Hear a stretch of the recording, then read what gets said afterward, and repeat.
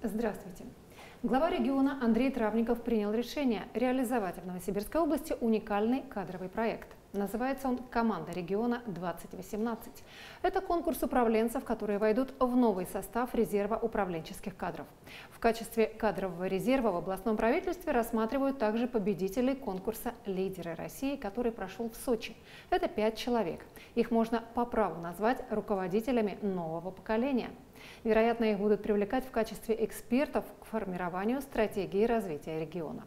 Это отдельная тема. И в нашей студии сегодня заместитель руководителя администрации губернатора и правительства Новосибирской области, руководитель Департамента организации управления и государственной гражданской службы Валентина Дудникова. Валентина Анатольевна, здравствуйте. Здравствуйте. Э, давайте вначале и поведем разговор о вот этом новом конкурсе, который называется «Команда региона 2018».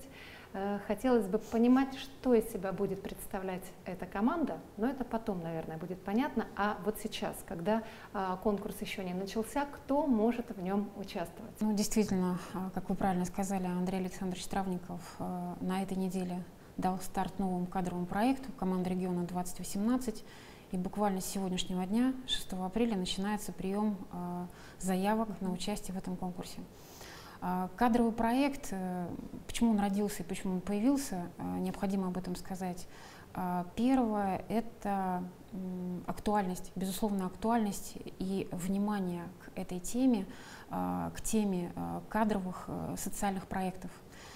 Лидеры России, как известно, очень интересный проект, который совсем недавно прошел на территории Российской Федерации и как раз был отмечен высокой активностью наших сограждан, показал высокую активность именно Новосибирской области. А, дело в том, что мы стали третьим регионом по числу победителей, а, которые... Ну, пять человек вот, это Да, пять человек много. это очень много, да. А, и, безусловно, это все обозначило все то, что во-первых, сама по себе тема очень интересна, актуальна. Во-вторых, Новосибирская область является именно территорией а, такого мощного кадрового потенциала, где очень интересные, талантливые люди. Возможно, этому и предшествовала все-таки история нашего региона. Мы были центром Сибири, сосредоточением тех подвижников, которые здесь оседали и профессионально потом себя реализовывали. И в настоящий момент э, вот тот результат, который мы показали на федеральном уровне, мне кажется, он очевиден и достоин нашего региона.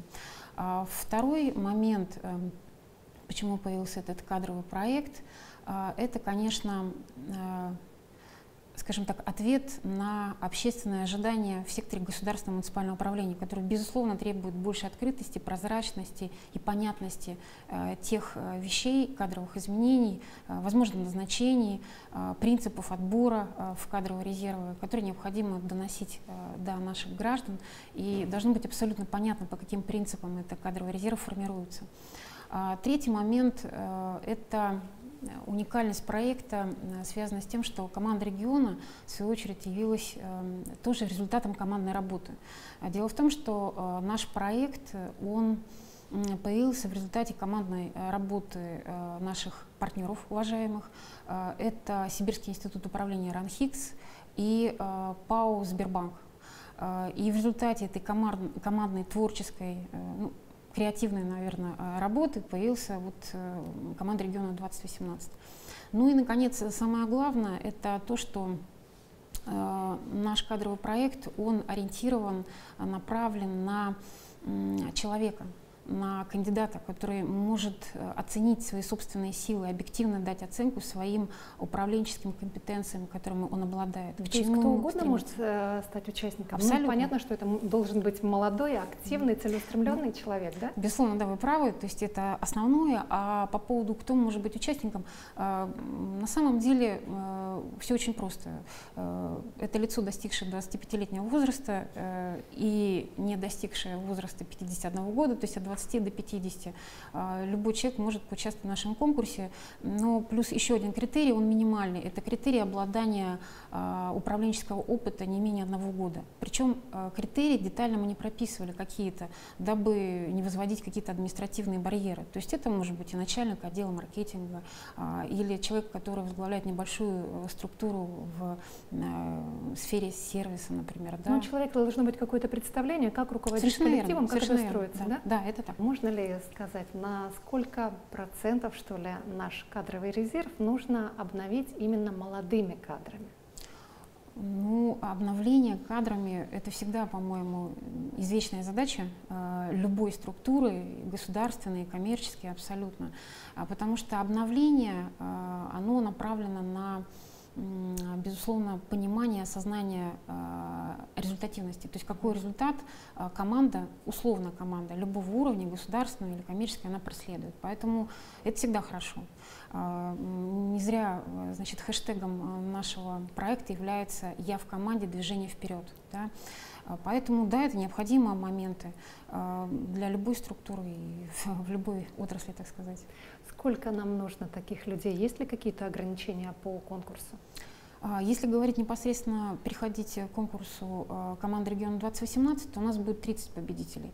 А число участников мы не знаем, потому что, ну, естественно, все зависит как раз Но от их может быть сколько актив... угодно? Безусловно, безусловно, от активности и зависит от того, как себя молодые люди проявят по ходу участия, так сказать, в нашем конкурсе, в зависимости от процедур. Вот э, интересный очень момент, который, может быть, тоже для себя стоит отметить, это то, что когда наши участники перейдут к очному этапу прохождения конкурса, этапов их несколько, да, три, условно говоря.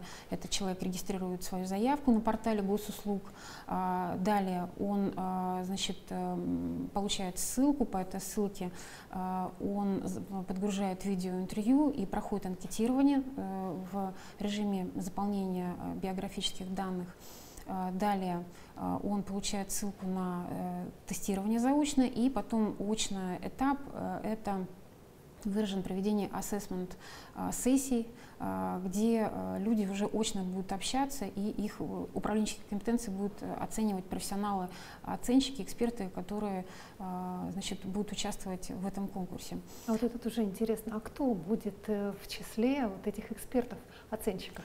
Интересный момент, что вот э, наши партнеры, когда мы э, готовили этот конкурс, э, теоретическая часть этого конкурса, она была за Сибирским институтом управления РАНХИКС, то есть мы говорили о модели компетенций необходимых, необходимое обладание которыми значит, должны продемонстрировать наши участники. А вот э, инструментарий кадровый, HR инструментарий, это у нас в секторе находится ПАО Сбербанка, поэтому и оценщики это совершенно независимые, приглашает именно эта организация. А, значит, э, это профессионалы, это психологи, у которых большой опыт по а, оценке проведения ассессмент-центров и которые э, занимаются подбором управления персоналом профессионально, на профессиональной основе. На любом этапе человек может, ну, его могут, так скажем, отсеять. Или ну, все примут заявки, а потом уже будут смотреть?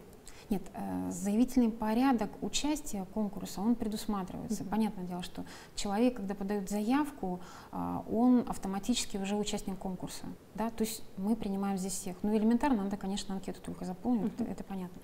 А далее, конечно, необходимо э, выполнить условия э, участия в конкурсе, такие как видеоинтервью понятно, что если человек видеоинтервью не делает, он не проходит следующий этап. Ну, интервью предполагает... Самопрезентация. Самопрезентация. А, это самопрезентация. Да, самопрезентация uh-huh. о собственных достижениях, о своем опыте, uh-huh. вот, где человек может себя продемонстрировать. Uh-huh. Далее идет процедура тестирования а, заочная, ну, она имеет уже оценочный бальный характер.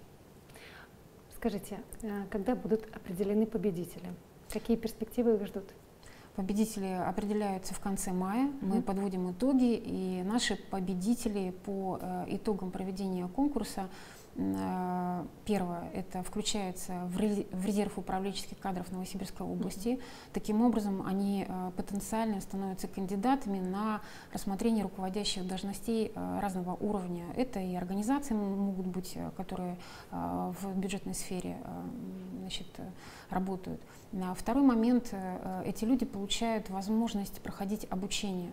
То есть наши победители, э, понимая, что процессом развития это процесс постоянной зоны внимания, э, получают э, пакет по мини-формату обучения в тренингах, в коучах, и таким образом они продолжают совершенствовать, оттачивать, если хотите, свои управленческие компетенции. Следующий момент, тоже немаловажный, это то, что наши участники будут, наши победители, вернее, будут участниками программы менторинга. То есть ментором, наставником по отношению к ним будут выступать руководители областных исполнительных органов, заместители губернатора. А, в процессе такого общения, это уникальное общение, а, будет обмен и э, не только профессиональными знаниями, но и самое главное личным опытом. Это, если хотите, мини-история успеха для человека, а, его корп-модель, корпоративная модель, его вектор развития. И нам кажется, это перспективно. И, кстати говоря, именно такой подход тоже используется в рамках рамках «Лидер России». Там тоже есть наставники, которые официально были определены э, значит, в Сочи, ну, вот, а, в тех событиях, о которых вы говорили. Как это будет происходить, если, например, за, ну, победил в конкурсе человек, который живет э, в одном из районов нашего региона, а наставник как с ним будет работать, если он находится здесь, в Новосибирске? Ну, точно так же, как работают наставники и с э, нашими победителями, то есть э, по лидерам России у нас никто не отменял э, интернет-ресурсов и видеообщения. На самом деле тоже достаточно перспективная вещь. Хотя, конечно, нет ничего более лучшего, чем личное общение. Поэтому на самом деле область все-таки это не Россия, поэтому приехать и пообщаться лично, прежде всего на это будет сделан приоритет, и такое общение будет организовано, но также будет общение и дистанционное тоже. То есть может быть так, если человек живет в сельской местности и он довольно-таки успешно себя показал, то ему в перспективе могут предложить какую-то работу, например, здесь в областном центре. Да, конечно, безусловно, это так. А, Валентина Анатольевна, как вы считаете, вот хотелось бы понять, лидером все-таки рождаются или становятся? То есть может человек, который ну, от рождения не обладает задатками лидера, все-таки стать таковым? Неоднозначный э, вопрос и ответ на него, соответственно.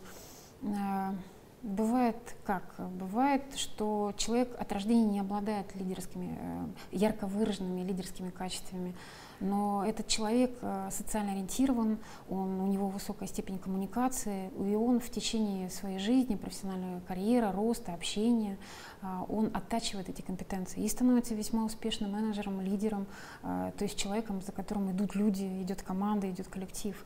А бывает и так, что человек, скажем так, в силу определенных профессиональных знаний, но не обладая коммуникациями и определенным типом а, ну, к примеру, меланхоли, меланхолическим типом, да, у него не совсем это получается, и он в большей степени себя профессионально чувствует в экспертной части. И он это понимает, тоже пройдя путь, может быть, а, тот, который эм, покажет ему, что его управленческие компетенции и возможности, они, скажем так, ограничены, но зато экспертные возможности и возможности его самопознания в другом направлении, они обширные. Поэтому, наверное, все-таки, возвращаясь э, к тому, что мы говорили в начале, человек, э, ну, центр создания для себя, он на себя ориентирован, и это правильно, безусловно. И он определяет, в принципе, по жизни вот эти ориентиры. Но факторов влияния я не исключаю. В наш век э, достаточно большой информации, в изменяющих условиях таких людей все больше и больше становится.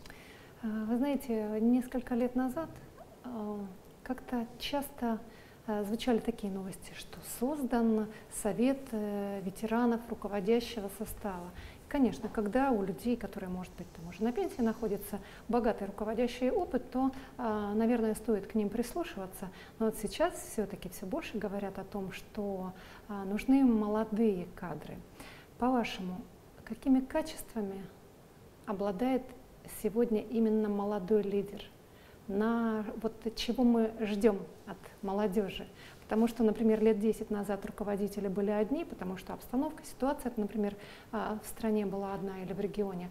А сегодня все поменялось, все иначе. Что требуется сейчас? Сейчас, э, как я вот говорила ранее, э, человек живет в сложных условиях, безусловно, молодой человек живет в сложных условиях. А что Ориентироваться быстро, видимо, нужно. Совершенно да? верно, да. Мы говорим об условиях, э, когда в потоках информации, коих очень много источников информации, много, надо, безусловно, ориентироваться. А второе, это, конечно, а, оперативно реагировать на изменения, которые проходят постоянно. И раньше действительно такого не было. И ни в укладе жизни, ни в темпе, ни в ритме жизни этого, естественно, не было. Третий момент, э, тут очень важно, наверное, универсальность э, подхода, то есть когда э, человек обладает знаниями, определенными навыками, умениями, э, всего понемногу, всего по чуть-чуть, но он ориентируется в этом. Эта универсальность, мне кажется, она его делает универсальным в точке с точки зрения претендования на должности или претендования на успешную карьеру, э, значит, в любой отрасли, абсолютно в любой отрасли и области, э, человек тогда, в принципе, по большому счету, молодой человек, прежде всего, он э, достаточно быстро продвигается. Но при всем при этом он должен обладать качествами самоорганизации, безусловно. Безусловно, он должен понимать, как планировать и свое развитие, и продвижение, необходимость работы над собой тоже это очень важно. А, и, в принципе, конечно, обладать ну, креативностью, если хотите. А, есть у нас такая модель, известная в мире, это 4К, а, значит, э, и это по факту является базисной основой. Мне кажется, сейчас для любого молодого человека обладание вот этими 4К, четырьмя компетенциями, она делает его успешным. Какие это четыре компетенции? Это, конечно же, э, коммуникативность, это командная работа, то есть умение работать в команде, быть эффективным, а, это коммуникации, необходимо это делать. И, конечно, критическое мышление, то, о чем мы говорили ранее, э, это умение работать с информацией, проще говоря. Но э, вот наши участники, вернее победители конкурса «Лидеры России» от нашего региона, наверняка они обладают всеми ну, этими да. качествами. Расскажите, а как они показали себя на конкурсе? А, наши ребята, можно ими гордиться, безусловно, потому что это очень талантливые, неординарные люди. Они из разных отраслей, а, представлены отрасли э, и отрасли медицины, а, и промышленная отрасль, и отрасли производственная. То есть, в принципе, линейка у нас вся есть. И коммерческий, кстати говоря, сектор тоже представлен, банковская сфера. Средний возраст этих лиц составляет 40 э, лет. То есть э, это люди, которые обладают, с одной стороны, уже багажом, очень серьезным управленческим, с другой стороны, э, они ориентированы на результаты и эффективность, совершенно четко понимают цели, к которым они идут. Э, в принципе, не только с победителями, но и с полуфиналистами я с, с очень многими встречалась лично э, и подтверждаю вот эти слова по неординарности этих людей. Итогом этих встреч стало, во-первых, общение с руководителями областных исполнительных органов э, и с, э, значит, э, на предмет их участия э, в экспертных площадках различного толка и уровня. Ну, например, э, в настоящее время, как известно, идет активная экспертная работа, та самая работа, которая, приоритетом которой обозначил Андрей Александрович Травников, это работа над стратегией социально-экономического развития региона, стратегия развития региона да, 2030, если можно так кратко говорить. И э, уже и полуфиналисты, и некоторые лидеры, они участвовали в форцейс-сессии, в страт-сессиях э, по э, предложениям э, значит, вот в эту программу, в эту программу развития, в этот продукт, который э, будет разработан у нас на территории Новосибирской области. Э, некоторые лидеры э, значит, идут самостоятельным проектом, он поддержан областными исполнительными органами. Ну, например, у нас есть такой лидер, как Кушалов Евгений, доктор наук медицинских, возглавляет один из центров Мишалкина. И как врач, как профессионал, он предложил проект, который был поддержан Андреем Александровичем, это человекоизбережение. Укрупненно, если более узко, это а, те меры, комплекс мер, которые направлены на уменьшение смертности людей. А, сейчас идет активная работа над этим проектом, а, и Министерство экономического развития совместно с вот, э, этим представителем лидеров России а, отрабатывает реализацию этого проекта. А, есть проекты, направленные экологические, тоже очень интересные они находятся в стадии э, разработки. То есть, э, в принципе, возвращаясь к тому, что эм, цель э, конкурса и лидеры России и э, нашего конкурса, команды региона, это не устройство на работу, а цель именно саморазвития, mm-hmm. где человек может себя проявить э, в разных отраслях и областях, в разных форматах. Потому что выступая экспертом значит, э, на общественных слушаниях или в страцессии, он себя тоже реализует таким вот образом. Поэтому, в принципе, это дает толчок для развития, его этапа развития в будущем. Можно так ответить на вопрос. Ну, да, глава региона Андрей Травников, он когда встречался с участниками проекта «Лидеры России», он сказал, что действительно спектр сотрудничества с ними довольно широк. Это от кадровых назначений в нашем регионе до привлечения их, как вы уже сказали, в качестве экспертов. Но это ведь не будет отложено в какой-то долгий ящик. То есть все уже пошло в работу. Да, конечно. Если говорить о лидерах России, мы сейчас в настоящее время работаем. Некоторые из них назначены. Э, рассматриваются сейчас назначения в части советников губернатора вот по отдельным проектам. А, некоторые приглашены в проектные офисы, которые в настоящее время работают, поэтому это уже работает. А, другое дело, что а, некоторые полуфиналисты, я слышала это, и участники лидеров России говорили о том, что им не хватило обратной связи. Мы постарались, постараемся ликвидировать вот этот вакуум обратной связи в именно нашем проекте кадровом. В принципе, мы единственный регион, который пошли на этот проект э, с таким именно проектом. А, и обратную связь будем давать уже э, начиная от 15 календарных дней до 30 любому участнику нашего проекта. Это очень важно для его точек роста, для собственной оценки объективно себя.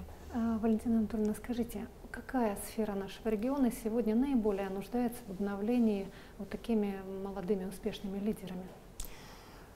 А, надо сказать, что эта сфера является сферой муниципального управления. Дело в том, что а, не секрет, что проблема найти кадры в сельской местности, и э, это касается не только кадры отраслевые, но это касается и кадров э, сферы муниципального управления.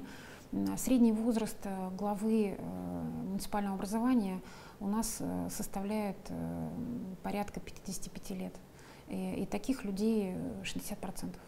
Предпенсионный возраст, да, ну, если это мужчины? В общем, это можно так говорить. Ну, у нас много и женщин, и мужчин, но тем не менее скажем, э, безусловно, вот этот сегмент, э, вот этот сектор муниципального управления, он нуждается именно в новых подходах и в именно тех кадрах, о которых мы говорили. Поэтому интересно вернуться к тому вопросу, который вы задавали ранее, а что будет делать человек из сельской местности, э, который поучаствовал в конкурсе. У него большие перспективы именно на местном уровне, и эти перспективы мы тоже дадим. То есть не оставляя и не покидая человека, на самом деле продолжая коммуникацию уже на территории, которую он представляет. Это, это действительно важно, когда, вот кажется, ну что такое один человек, да, даже для какого-то районного центра. На самом деле на нем может настолько все держаться, если вот он активный, целеустремленный, то это ведь новое развитие, новый, новый уровень жизни людей, можно так сказать. Ну, безусловно, если возвращаться к этимологии слова лидеры, mm-hmm. да, идущие впереди, и за ним, соответственно, идут люди, конечно, на таких э, людях мир, наверное, держится, все правильно. Mm-hmm. А, э, такие лидеры и люди, которые являются центром сосредоточения вокруг себя людей, какой-то команды или какой-то общности, они, безусловно, ценны. А, и надо сказать, что а, вот возвращаясь к людям определенного возраста, ну, допустим, и 55, и 60, и 70, и 80 э, лет, они очень ценны с точки зрения передачи опыта человеческого и вот этого человеческого капитала. И себя они реализуют на общественных площадках, в различных э, общественных организациях, как Совет ветеранов или Совет женщин, э, ну и других общественных организаций, где они, мне кажется, не просто представлены, но и заражают своей энергией, подходом к жизни, отношением к жизни молодых людей. Скажите, помимо вот этих конкурсов, о которых мы сегодня с вами говорили, какие еще подходы используются в нашем регионе для формирования такого качественного кадрового резерва? Ну, необходимо отметить, что э, Андрей Александрович задал э, новый тренд, э, кадровый, новый кадровый тренд, если хотите, так как он сам является представителем этих кадровых изменений.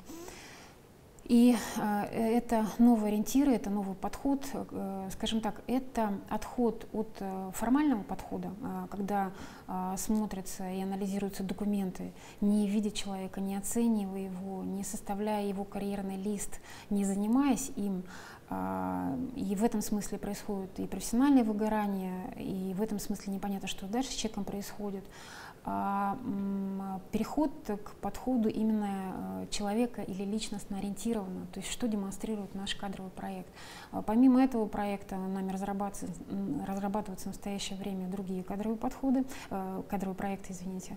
Эти э, кадровые проекты, они из на разные сферы направлены, но смысл у них один и тот же. Мы говорим о вовлеченности граждан в сектор государственного управления, а вовлеченность она разная.